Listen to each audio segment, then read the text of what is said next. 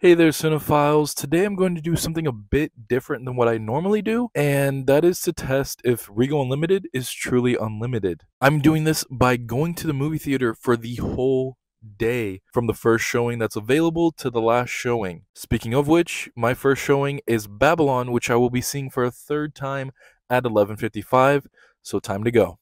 But anyway, hey there, cinephiles. I just wanted to say it on here because it felt weird doing a recording without saying it. Alright, so I had this idea of seeing how many movies I could see in a theater in one day. It's been with me for a couple of months, but then some bigger YouTuber decided to come out with a video with that exact idea. Either way, I pivoted to testing Regal Unlimited because, well, I and many of my friends have it and I got most of them on it, so it felt like the right thing to do. Also, Regal is not a sponsor, I'm just usually a show for them. So please, Regal, sponsor me. But anyway, I get my free small popcorn, which is one of the free things you can get, and a water, and get ready for my first movie of the day. As excited as I was to see Babylon for a third time, the promo of my nightmares comes back on screen. That's the only thing that AMC has better than Regal the pre showing promo. They get Nicole Kidman, and we get this. A man purse is called a satchel.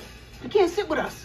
So you're telling me there's a chance? But it's alright, this always brings my energy down before a movie so I can enjoy it more. But then my spirits rise again because the stars of Babylon show up on the screen and thank me for watching it in a packed theater. As the movie goes on, two of my friends, Martin and Alex, join me for the day at the movies. However, we have no time for hellos as we're already running late to see Puss in Boots The Last Wish, which is my second viewing of it, but their first, so I gotta get them in the theater. And even though I was late, I had to make sure I got the sign on my way out too.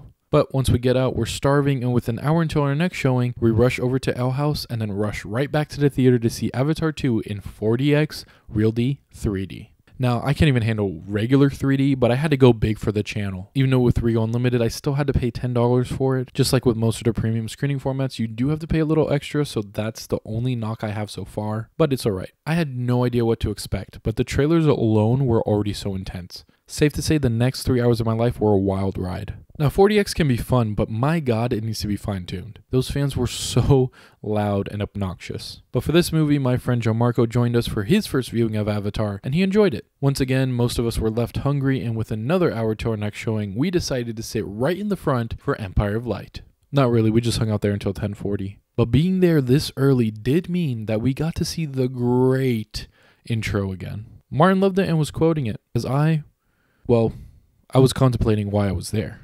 As Empire Light started, I realized we ended the day with the worst movie. I mean, even the people behind us left and made a mess. Finally done with our 13 hour day, I gotta say, Regal Unlimited is, well, truly unlimited. So please sponsor us, Regal. I love your service and I will continue to use it. Overall, it was a fun day with many interesting rewatches and one bad first watch. I was only able to see four movies this time, but let me know if I should try this challenge again with more movies. I give Regal Unlimited a 4.5 out of 5 stars safe to say I do recommend Regal Unlimited, but I don't recommend a full day at the theater. I mean, look at me at the end of the day. this is me at the end of this. Um, moral of the story: Don't recommend.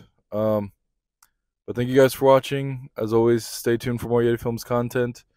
Uh, thank you for liking, commenting, and subscribing. And uh, we'll watch you later. I need to go home.